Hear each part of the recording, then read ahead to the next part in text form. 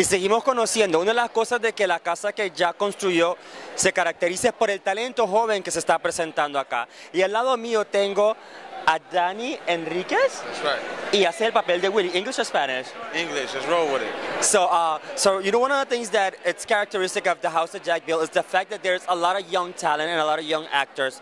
And right now I have with Danny Enriquez, and you play Willie. What is your role as Willie? You know, who is Willie? I'm, I'm, I'm the main character's best friend.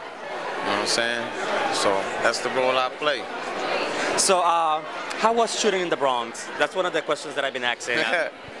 hey, it was realistic and it worked out for us. So it was a wonderful experience. It was good. so, can you tell us, you know, what are some of the pros and cons that you see about having everybody, uh, all the family in the in the house in one building? I mean, you could just check into your family and you'll see that, you know, things happen.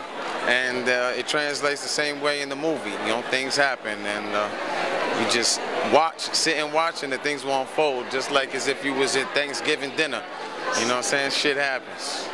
So, Willie, what are some of the major things that um, what are some of the major things that Willie did in the movie for those who have not seen the movie and that are gonna go see the movie? Something that's not gonna spoil it, but something that's gonna be like, I need to see that character. Well, I'm a, I am a rock for my best friend. You know, I'm someone who he could depend on regardless of what's happening.